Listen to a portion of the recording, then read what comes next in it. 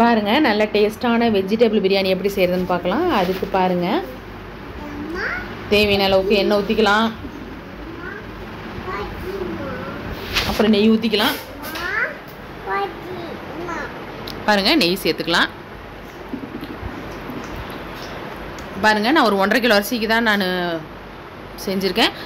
ஒரு பார்த்தீங்கன்னா ஒரு இரநூறு எம்எல் வந்து நான் எண்ணெய் ஊற்றிருக்கிறேன் கோல்டு வின்னரு ஒரு ரெண்டு ஸ்பூன் தான் நெய் சேர்த்துருக்கிறேன். அப்புறம் பாருங்கள் பெரிய வெங்காயம் பார்த்தீங்கன்னா ஒரு நாலஞ்சு பெரிய வெங்காயம் பச்சை மிளகா காற்றுக்கேற்ப சேர்த்துக்கலாம். நான் ஒரு ஏழு எட்டு மிளகா சேர்த்துருக்கிறேன். பாருங்கள் வெங்காயம் நல்லா வதங்கட்டும். அடுத்து இஞ்சி பூண்டு பேஸ்ட் வந்து ஒரு ஏழு ஸ்பூன் சேர்த்துக்கலாம்.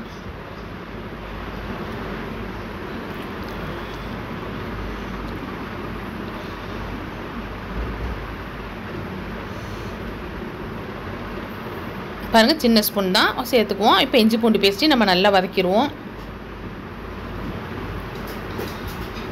பச்சை வாசனை போகிற அளவுக்கு நம்ம வதக்கணும். இல்லைன்னா அப்படியே ஒரு மாதிரி பச்சை இஞ்சி பூண்டு வாசம் அடிச்சுக்கிட்டே இருக்கும் சாப்பாட்டில். நல்லா வதக்கணும் பாருங்கள் நல்லா வதங்கிருச்சு. இப்போ பாருங்கள் புதினா சேர்த்துடலாம். அப்புறம் அரைக்க பாருங்கள் பட்டை பாருங்கள் ஒரு நாலு பீஸ் சேர்த்துக்கலாம்.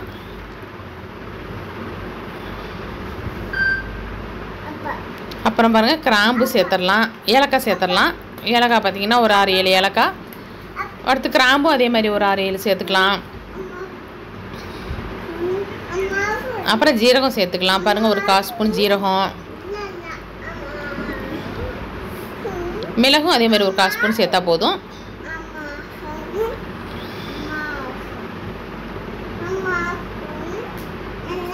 ரொம்ப போட்டால் எரிச்சிக்கிட்டு கிடக்கும் மிளகு.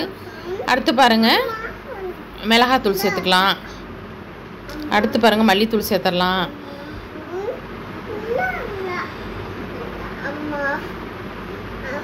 இப்போ இப்போ பாருங்கள்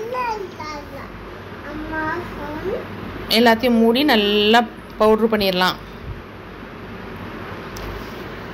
அடுத்து பாருங்கள் தக்காளி பழம் பார்த்தீங்கன்னா ஒரு எப்படியும் ஒரு ஏழு எட்டு தக்காளி அரிஞ்சு வச்சுருக்கிறேன் அதை சேர்த்துருவோம்.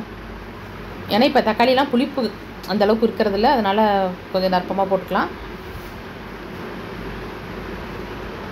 பாருங்கள் தக்காளி நல்லா வதக்கிடுவோம்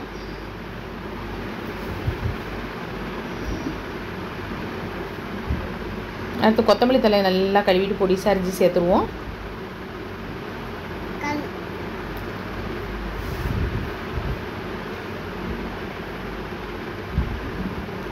அப்புறம் அரைச்சி வச்ச பவுடரை சேர்த்துருவோம்.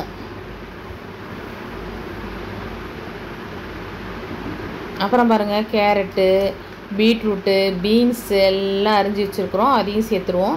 எல்லாம் ஒரு கால் கால் கிலோ கம்மியாக தான். எல்லாத்துலேயும் ரெண்டு அதாவது கால் கிலோ கம்மியாக தான் போட்டிருக்கிறேன் ஒவ்வொரு காயும். இப்போ உப்பு பாருங்கள் தேவையான அளவு சேர்த்துக்கலாம்.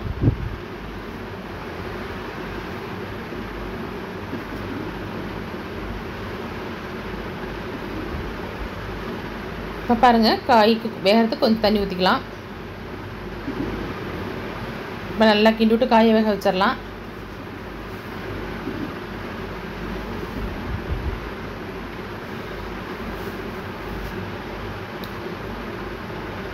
இப்போ பாருங்கள் பச்சை பட்டாணி வந்து நைட்டே ஊற போட்டிருந்தேன். காலையில் அப்படியே வேக வச்சு வடிச்சிட்டேன்.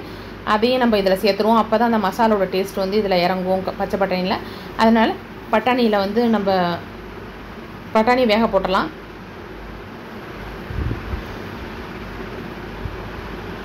இப்போ பாருங்கள் எல்லாம் நல்லா வதங்கி சுண்டி வந்துருச்சு. இப்போ தண்ணி வந்து நம்ம தேவையான அளவு சேர்த்துக்கலாம். பழைய அரிசியாக இருந்தால் ஒன்றுக்கு ரெண்டு சேர்த்துக்கலாம். புது அரிசியாக இருந்தால் ஒன்றே முக்கால் வச்சுக்கலாம். ஒன்றுக்கு வந்து ஒன்றே முக்கால் வச்சுக்கலாம். இப்போ பாருங்கள் தண்ணி தேவையான போட்டு இப்போ உப்புலாம் சரியாக இருக்கான்னு சொல்லிட்டு இந்த தண்ணியிலே பாத்திரணும் நம்ம. அப்புறம் சேர்க்க முடியாது. பாருங்கள் கொதிக்க ஆரம்பிச்சிருச்சு. இப்போ நம்ம வந்து அரிசி சேர்த்துடலாம்.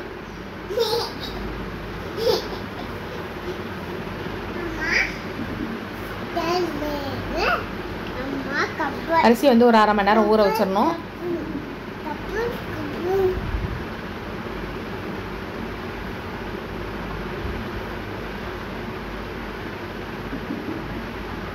இப்போ பாருங்கள் நல்லா கிண்டி விட்டுக்கலாம் மூடி போட்டுடலாம். இப்போ பாருங்கள் கொதிச்சிருச்சு. தண்ணி பாருங்கள் இப்படி கொஞ்சம் மேலாக தண்ணி நிற்கும் போது நம்ம தம்மில் போட்டணும் அப்போ தான் சாப்பாடு நல்லா புளிங்கி வரும். பழைய தோசைக்கல்லை வச்சு அதுக்கு மேலே நம்ம வந்து அந்த வெஜிடபிள் பிரியாணி செட்டு தூக்கி வச்சிடலாம். அதுக்கு மேலே வந்து நம்ம ஒரு வெயிட் வைக்கணும். வச்சு ஒரு நல்ல ஒரு அஞ்சு நிமிஷம். நம்ம நல்லா அனலில் வச்சு அப்புறம் வந்து குறைச்சிருவோம்.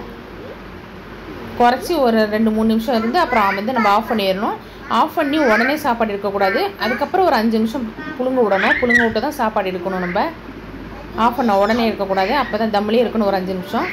பாருங்கள் நல்லா டேஸ்ட்டான வெஜிடபிள் பிரியாணி. பாருங்கள் நம்ம லாஸ்ட்டாக அந்த ப்ரெட்டை வந்து நம்ம அந்த சூட்லேயே கூட எண்ணெயை ஊற்றி தோசைக்கல்லில் வாட்டி அப்படியே கட் பண்ணி போட்டலாம் போட்டு நம்ம மூடி